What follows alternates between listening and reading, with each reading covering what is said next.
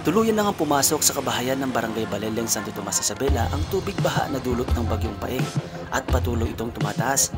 Bagamat sanay na ang mga residente sa ganitong sitwasyon, doble ingat pa rin sila. May mga lugar na hindi pa naabot ng tubig pero naghahanda pa rin ang mga residente sa posible nitong pagtaas. Hmm.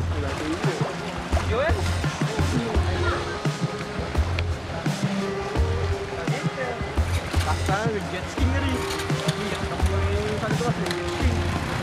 Napigay ka na jet Sinasamantala naman ng ilang residente na maghugas ng mga sasakyan habang mababa pa ang level ng tubig.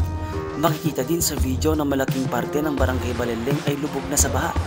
May mga residente din sa ibang barangay ang hindi nakatawid dahil sa malakas na ang agos ng tubig. Mga malalaking sasakyan lang ang maaaring makatawid mula sa barangay Baleleng papuntang ibang lugar.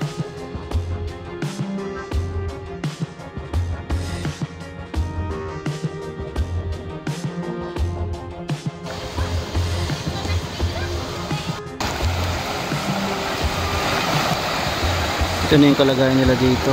Pinasok na na yung tuluyan ng tubig. Pinasok na ng baha yung mga kabahayan dito sa Baleleng.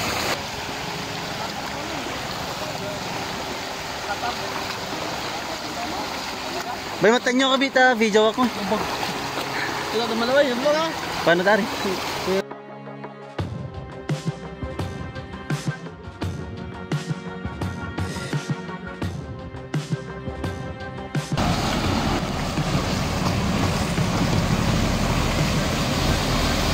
Meron naman natin dito.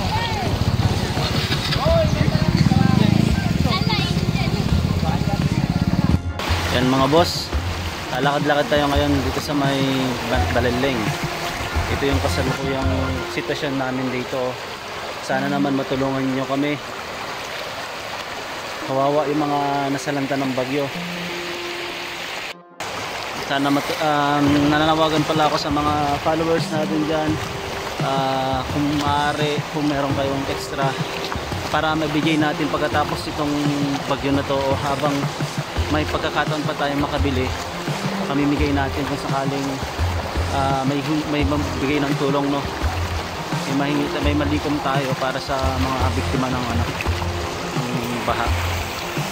Ganito yung sitwasyon ngayon dito sa may Baleleng ngayon no